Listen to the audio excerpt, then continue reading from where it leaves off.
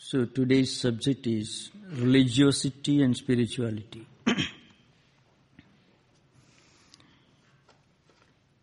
In a more popular way, we can put it as religion and spirituality. Often, religion is misunderstood, widely misunderstood these days.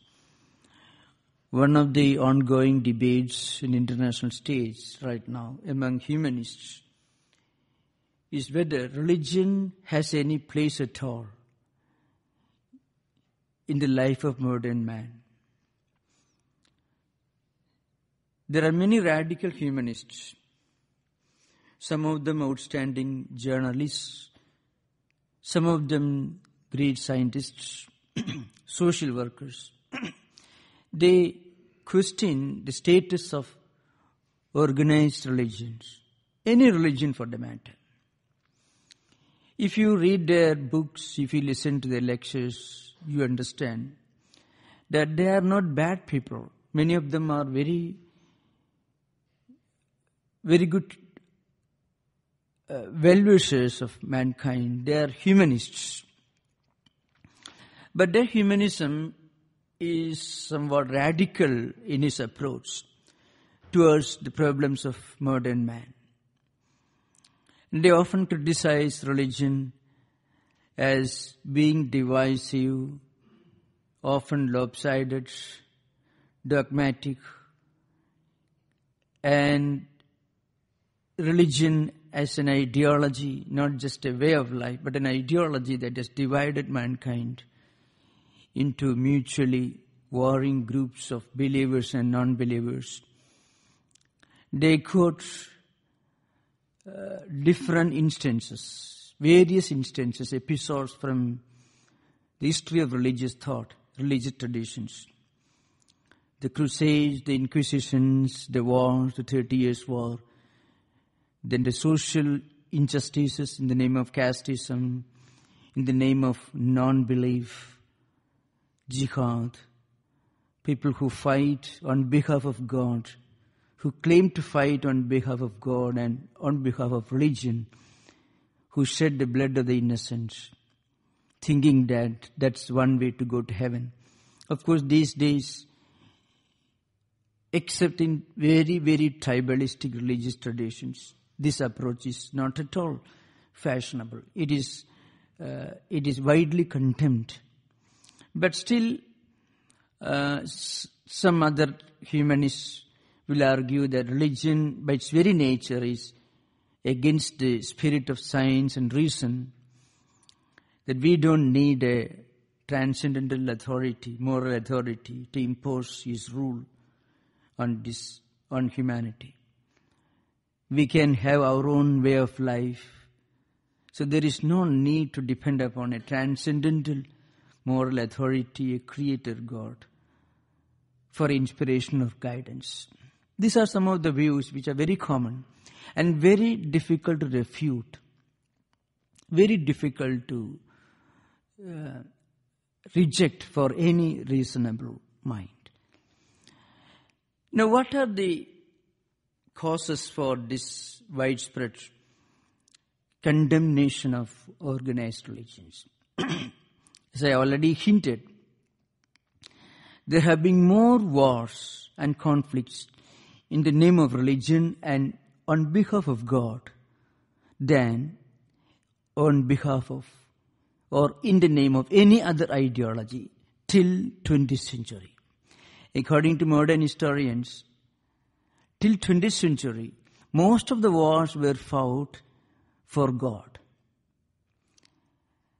But in 20th century, three radical uh, streams of thoughts influenced humanity. One was communism, the communist revolution in Soviet in Russia, 1917, and then the revolution in China, which were both human attempts to worship the brutal collective power, the collective brutal power of humanity, devoid of any moral or religious or spiritual trappings. Both proved to be total failures. The third approach was in Europe. Fascism and Nazism represented another non-religious approach, which also became disastrous in their consequences. So, except for these three modern uh, ideological trends, all other conflicts till the beginning of 20th century took place in the name of religion and on behalf of God. So do we need a God? Do we need a religion? That's the question. Now, what is norm, what do we normally mean by religion? Vivekananda, who interpreted religion as spirituality, and who defined spirituality as going beyond the trappings of organized religion, says that religion has got four levels in its evolution. At the most primitive, at the grossest level, religion is understood to be the performance, mechanical performance of certain rituals, ceremonies, and the profession of faith, which may not necessarily have anything to do with our real life. So it is very superficial. We profess to be a Hindu, a Catholic, or Protestant, or Muslim, or Jew, and so on. Just a profession. Oh, we write in a column, what's your religion? Hindu, Christian, Muslim, Jew, or Buddhist, and so on. That's what is religion. And also certain external ceremonies and rituals going to a temple, a church, or a mosque, or whatever, maybe on fixed days. Performance of some rituals, mechanical performance of some rituals which may not necessarily have anything to do with our approach towards life, our attitude towards our fellow human beings, completely divorced from the real, the real life. This is the grossest, the most primitive level of religion. Swami Vivekananda said, rituals and mythology which corresponds to what we understand by theology also. So rituals and mythology represent two of the most primitive levels of human evolution in religious life. But we can't say these things are non-necessary because we have to start somewhere. Spiritual life should have a beginning somewhere. So instead of going for a walk in the evening in the beach, we go to a temple, a church. Instead of watching the TV, some thrillers, we watch, we go to a church, a temple or a church and listen to some lectures about ethics, morality, philosophy, and higher values. See, this is certainly better, no doubt about it. But it is only beginning. It is not the end. When you interpret this as the supreme goal of religion, then it is called religiosity. So what is religiosity? Religiosity is nothing but a peculiar approach to religion which is essentially lopsided, dogmatic and doctrinal, which becomes a stumbling block in our spiritual progress. It's like a child who goes to kindergarten, who refuses to move to higher classes. When he reaches a particular age, he has to move to a higher class. He can't go on attending a kindergarten or a primary school for 20 years or 30 years. He can't do that. Similarly, we have to start somewhere and rituals and ceremonies and mythologies could be a very beginning, could be an ideal beginning, but we should not interpret uh, interpret this beginning as the end of spiritual life. If we do interpret, it becomes dogma.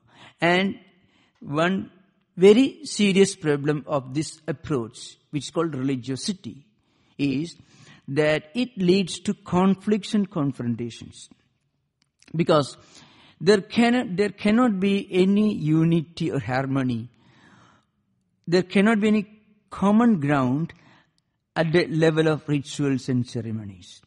Because a person reads the religious scriptures of his chosen path, his chosen faith. So, a Muslim may go to a Muslim place of worship, Hindu may go to a temple, Christian may go to a church, Jew may go to a synagogue, and so on. So there is a lot of diversity and difference at this level. But this difference should be understood because this is only the beginning of spiritual life. And there comes a stage where these diversities and differences vanish when we move higher in spiritual evolution. So, rituals and mythologies constitute the first and second levels of evolution in, in religious life.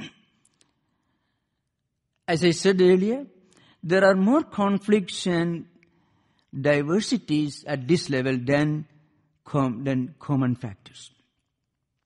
The third stage is philosophy, which may perhaps include theology as well. Well, at the philosophical level, there can be some common ground in all religious philosophies, at least in the philosophical teachings of the great mystics, you find many common ideas. Love, compassion, universalism, non-violence, peace, harmony, universal brotherhood. All these are common ideas, common philosophical doctrines that are found in most of the organized religions. This is the beginning of spirituality. Now, at this level, there may be many common factors, many unifying factors, many commonalities between different religious persuasions. But still, there won't be perfect harmony and peace. Because philosophical ideas and theological ideas are often determined by the cultural, the geographical, and the ethnic ideas uh, related to the life, the activities, and the culture into which the particular prophet or the founder of the particular religion is born. Every religious teacher has to interpret his doctrines and ideas in a vocabulary, using a vocabulary and a language, a term in certain, certain common terms, expressions, which uh, may be determined by the language in which into which he is born, the geographical area, which often influences culture and attitudes and behavior patterns, food habits, and so on. So the sociological factors, the geographical factors, the characteristics of the particular ethnic tribe into which this prophet is born may very often influence the language, the parables, the similes that he may use while interpreting his teachings. The teachings may be universal in nature, but the language used may not be universal because language has its own difficulties. It's a common uh, argument by mod- among modern philosophers that language is often an ina- inadequate tool for expressing higher philosophical truths. So, um, in all religious teachings, in the teachings of all religious prophets and teachers, you find this limitation. The limitation is not their fault. It's, you can't put the blame on them. The limitation is totally unavoidable. What is the limitation?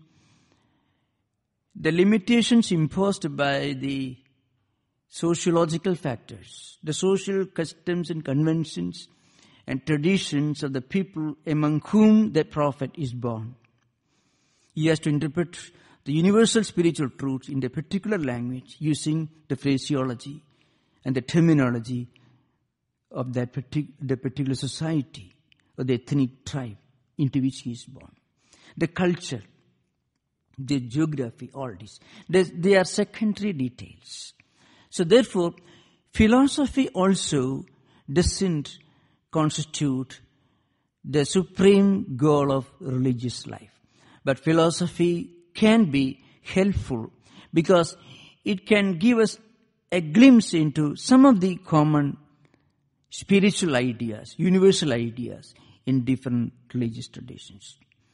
The fourth and highest stage is experience. So, as I said earlier, the grossest and the most primitive stage is external rituals, then mythological beliefs and customs, then philosophy, and last is experience, which corresponds to mysticism in the Judeo-Christian context. In the context of Abrahamic religions, experience corresponds more or less the mysticism that is often found among the mystical teachings of the great men and women of God who lived in the medieval ages. So, at this level, at the experience level, religion ceases to be religiosity, it becomes spirituality. If you interpret spirituality as mere religion, it becomes binding. It becomes a bondage, a burden, a liability for human civilization, as it often proved to be. And then it becomes divisive.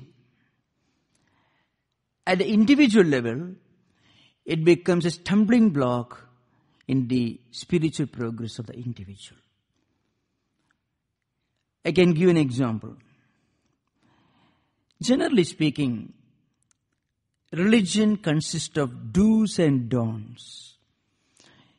You should do certain things, you should not do certain other things because that's the uh, that, that's arbitrarily uh, stressed or emphasized in a particular religious theological work. So you have to believe in certain things.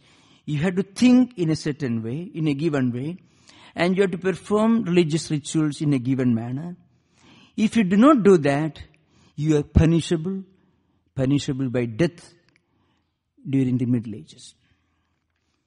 Now, so you can very easily see how and why religion came to be so terribly misunderstood, as divisive, as creating more problems than good for mankind. But same religion, when it reaches the peak of its evolution, it becomes a universal, a unifying, a harmonizing, spiritual attitude towards life as a whole. At individual level, it helps us to reach a higher spiritual evolution and in our interaction with, the, with other fellow human beings, it helps us to look upon other fellow human beings with love, compassion, and feeling of brotherhood. So the same religion ceases to be religion, it becomes spirituality at the experience level. But unfortunately, very often and in many religious traditions, this experience element was completely ignored. And those who openly advocated the primacy of inner mystical experience were often persecuted and excommunicated, very often uh, subjected to persecution and death. Now, What is the essence of this experience? I have again at the beginning I said two points about this experience. This experience, to begin with, it helps us to enjoy peace and harmony within. It helps us to fulfill and to rediscover our own spiritual element within.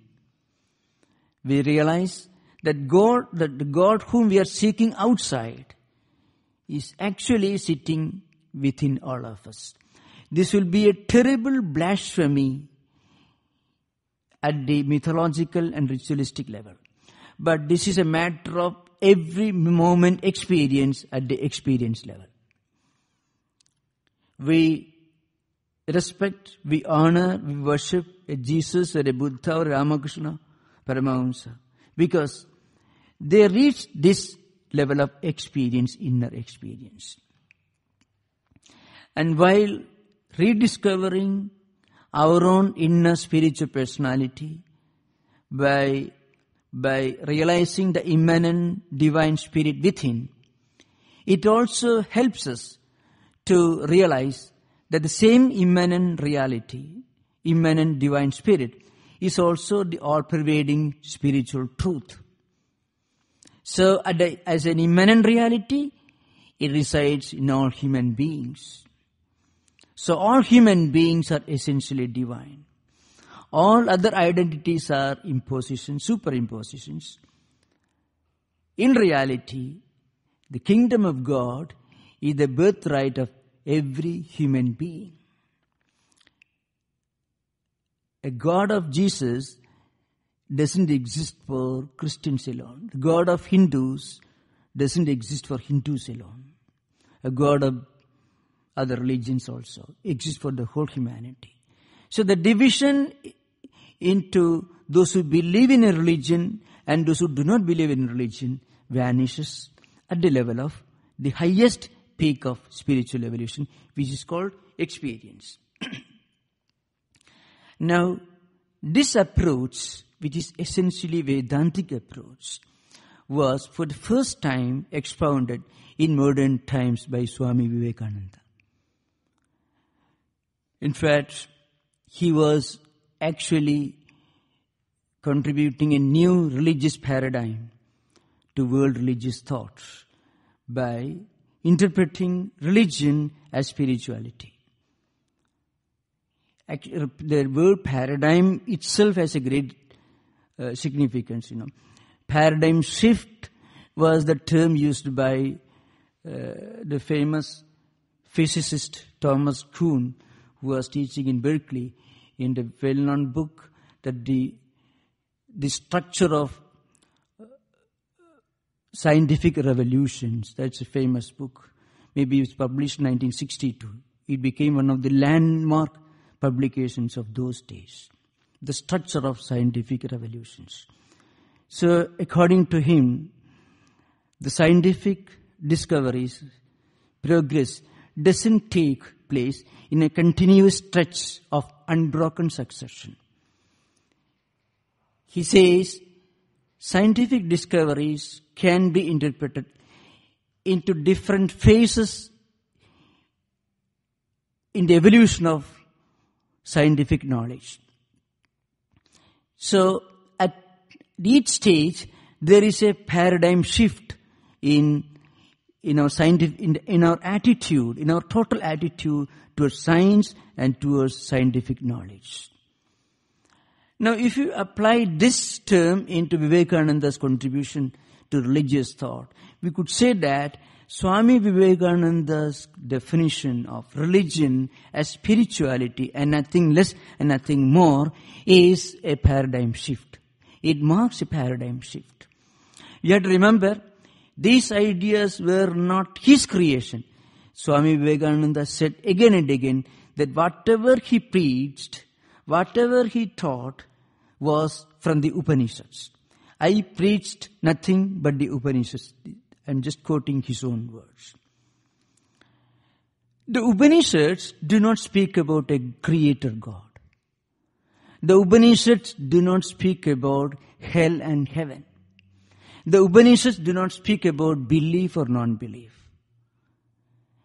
The Upanishad does doesn't divide mankind into believers and non-believers.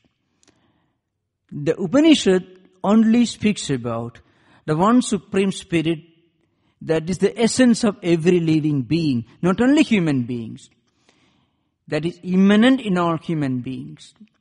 And that is the ultimate transcendental reality. And that is also the all-pervading, omnipresent reality.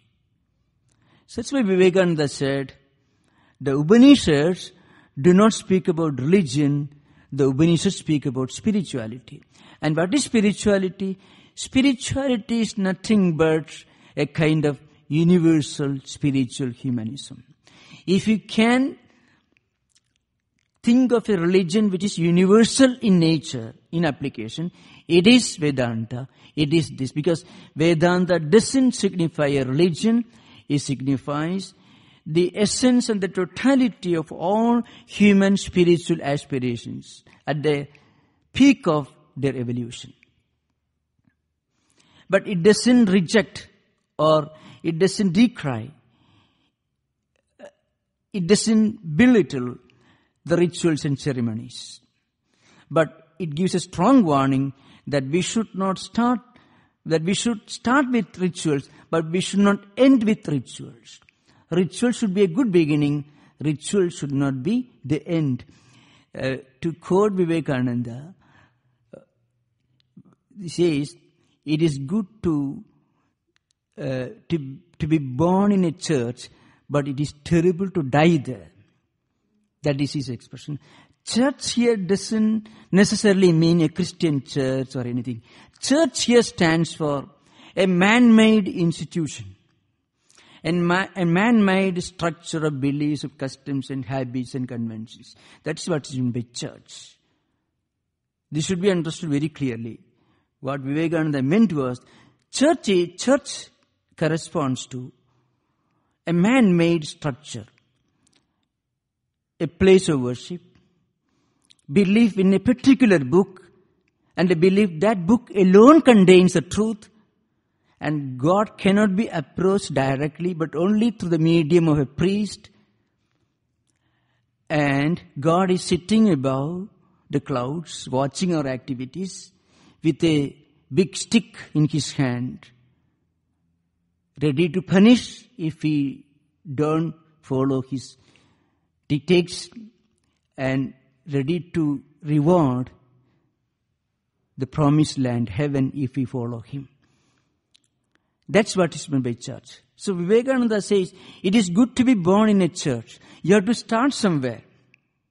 So let us, we can start with reading the Bible, the Gita, or any religious holy book. Very fine. But then we should end with the, with, with experiencing the truth that is explained, that is described in these religious books. So belief is not a criterion for spirituality. Experience is the criterion of spirituality. Belief becomes a criterion for belief, for, for, for religion, and if belief alone becomes the criterion for religion, then religion will continue to be divisive to be rather a source of trouble than a source of help and guidance. But we should start with religion. Somewhere we have to begin. And slowly we must evolve. And our goal, supreme goal should be to end with inner experience. It is this experience that translates religion into spirituality one great complaint against organized religion in modern times. And in fact, it all began with Marx and Engels in the begin, in the middle of 19th century. Remember, you have to look upon Marx not as as the champion or the proponent of communist ideology. You must look upon Marx as a great Hegelian, as a great socio-economic political scientist and thinker and a philosopher. That you have to remember this very well.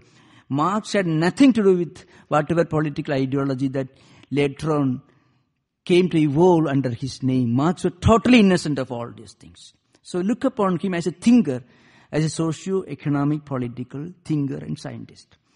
Now, he criticized religion. His only criticism was that it is anti-humanistic. And he was, what religion was he criticizing? He used the word religion is an opium.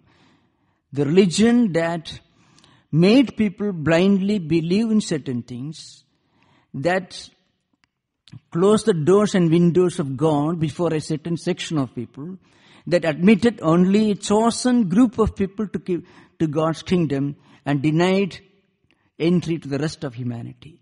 That was the kind of religion which he designated as opium. So it all began with Marx and it continues to our own times. Great humanists and scientists like uh, Richard Dawkins, journalists like Michael Hitchens, Christopher Hitchens who passed away. All these are modern examples of great humanists who criticize religion. Perhaps they, if they had opportunity to read the works of Vivekananda and if they had got a chance to have an encounter with Vedanta, they would not have criticized religion at all. Because Vedanta is the greatest philosophy of humanism. Vivekananda says in one of his lectures, the infinite one, the, in, in the infinite oneness of the soul is the eternal sanction of all morality, all ethics, all good actions. So what is the, what is the highest philosophy of morality and ethics? He says the infinite oneness of the soul. In other words, the fact, the truth that humanity is one. The humanity is one spiritual family. This oneness and this concept of unity based on the fact that God as the divine spirit lives within all of us. And to realize this fact is the goal of true religion. And then religion becomes spirituality. And it becomes a unifying force. So, we should not do harm to our neighbor, not because God will punish us or we should do charity because God will reward us. No. We should not hurt our neighbor and we should help our neighbor not out of fear of God, but out of the realization that our neighbor and ourselves are spiritually one. This is the essence of uh, Vedanta. In fact, this is the universal ethical philosophy of Vedanta, which Vivekananda advocated. Now, this is in fact what is meant by spirituality.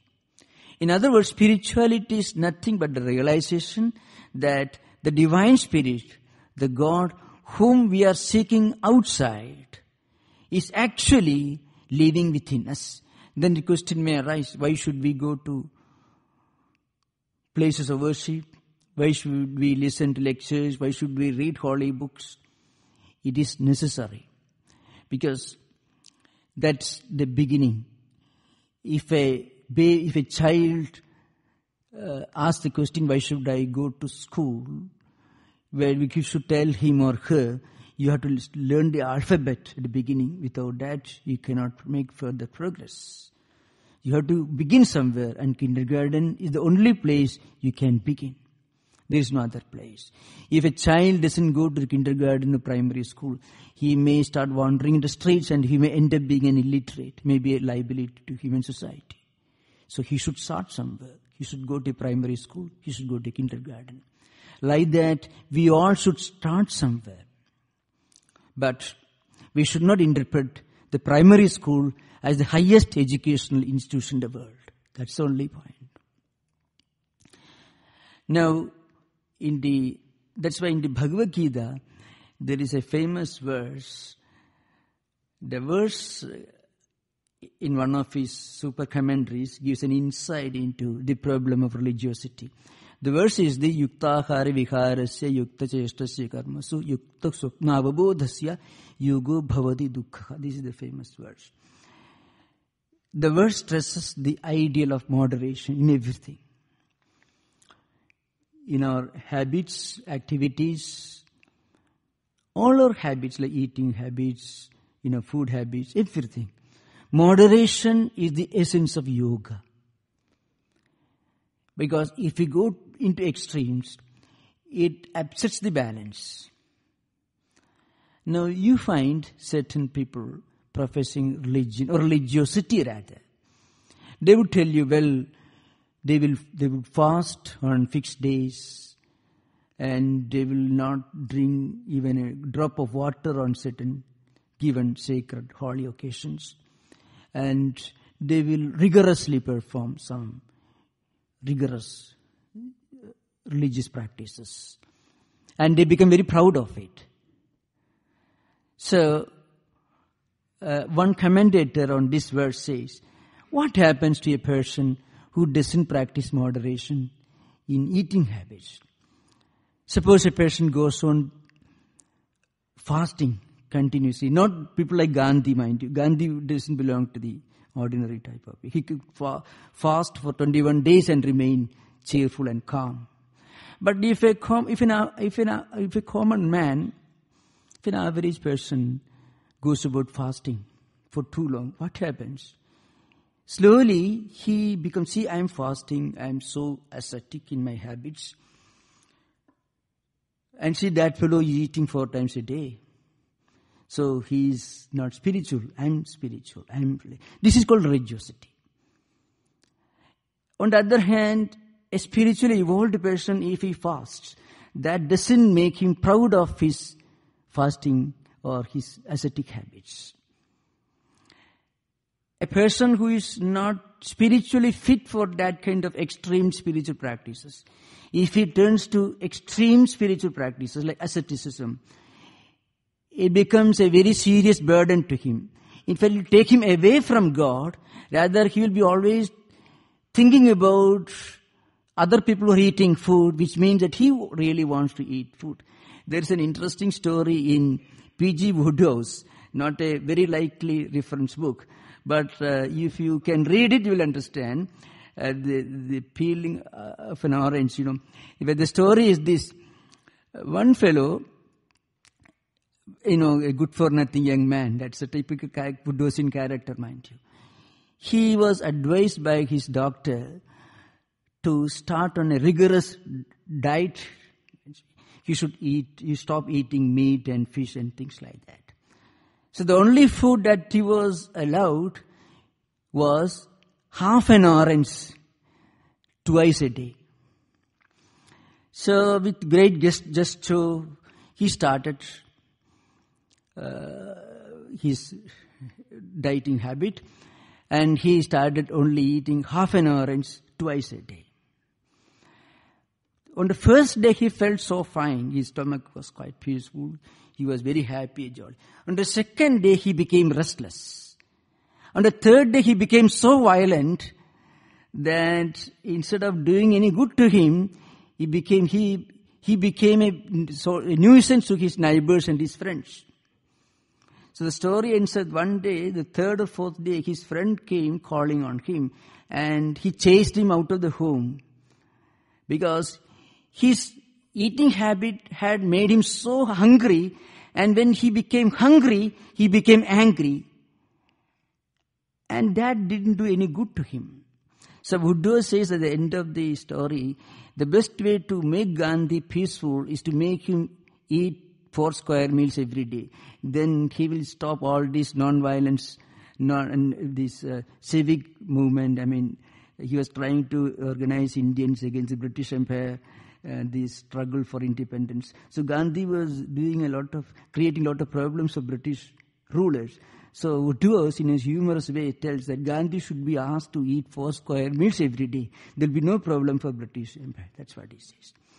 Now, what really happens is in the story behind. Any ascetic practice, any external ritual, religious ritual, carried to an extreme point, and interpreted as an end in itself will make the man irritable and it will rather take him away from God and spirituality rather than doing anything good to him. The central message. So Krishna says, Yukta ahara viharasya yukta karmaso. But if you interpret religion as religiosity, then many people interpret this external practice of asceticism as an end in itself. On the one hand, it creates disturbance within. On the other hand, it creates disharmony. And it also becomes the cause of so much of violence and bloodshed and disturbances in the name of religion and God. On the other hand, if religion is interpreted as spirituality, as the inner experience of the divine spirit, the immanent reality within the entire living humanity, the whole creation, and also the all-pervading supreme reality, then it becomes spiritually humanistic. It becomes a unifying, a harmonizing, a synthesizing, a peace-giving spiritual way of life. That is the difference between religiosity and spirituality. So Vivekananda says true religion should be interpreted as spirituality alone. Religion is a manifestation of divinity already in man. True religion is spirituality. What is that? It is a manifestation of divinity already in man. The moment we realize the presence of the divine within us, we, be- we become better human beings. We become better family members. We interact with our colleagues in the workplaces much, with greater harmony and peace. We become better citizens. In other words, we become better human beings. On the other hand, if religion is interpreted as religiosity, it creates conflicts and problems for the whole mankind. This is the difference between religiosity and spirituality. Religion is sometimes interpreted as mere piety, external piety which sometimes makes us insensitive towards the problems of our fellow human beings. Highly individualistic interpretation of spiritual progress. A strong faith in, in a book, in a doctrine.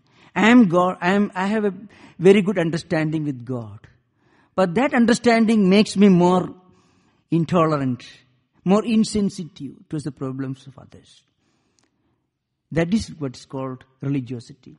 So Vivekananda in inspired talks gives a glimpse into what really happens when we interpret uh, religion as religiosity. He says, if a man comes and tells you that he is inspired and talks nonsense, reject him. That these are his own words in inspired talks, which he delivered in Thousand Island Park. If a man comes and tells you that is inspired and talks nonsense, reject him. What is meant by nonsense here? Somebody comes and tells you, well, God has told me to do certain things. I have a private encounter, dialogue with God. So, well, if that claim makes him more humane, more compassionate, more understanding, more broad-minded, we may accept him. But then next sentence he says, well, you should all follow me or I shall kill you. Uh, my path is the real path. All others are wrong. Then Swami Vivekananda says, reject him. So that's the real criterion. If religion makes us better human beings, it is spirituality. If religion makes us narrow-minded, it is religiosity. If religion makes us lopsided, insensitive towards other people's problems. A cold, totally insensitive expression on the face. Absolutely. All the doors and windows are closed. The humanity remains outside without any access to you. And you claim to be spiritually inspired. It is nothing but insanity or it is not or religiosity. So Vivekananda says, true religion is spirituality and true religion makes us more humane, humanistic, broad-minded, and sensitive. Kind of spiritual sensitivity. That's why you find all the great religious teachers of the world and also all the great prophets and saints, they were intensely humane, spiritually humane.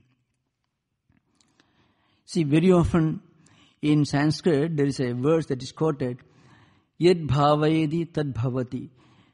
This is a simple pithy expression. It really means whatever you contemplate upon, whatever you meditate upon, whatever you think about, that you become. Very easily you can see A boy who wants to become a footballer, he keeps his room decorated with, with photos of great football players. A boy or a girl who wants to become a musician will have the photos, the pictures of great musicians decorated his room. Like that. Th- those whom we meditate upon, we admire, we tend to become like that. Similarly, if you really think about God, if you really contemplate on God, then we should have some of godly qualities in our character and behavior. If on the one hand you say God is all merciful, is compassionate, and we also become the opposite of that, then there is an inner dis- uh, dichotomy, disharmony, a disconnect, so to speak. If we love and worship and meditate upon God, then we should be godly in our thoughts, actions, and behavior.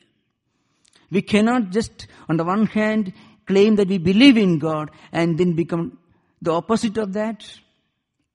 It's not possible. That's why all the great mystics, men and women of God, men and women who have realized the highest spiritual truth in their life, they became almost like God.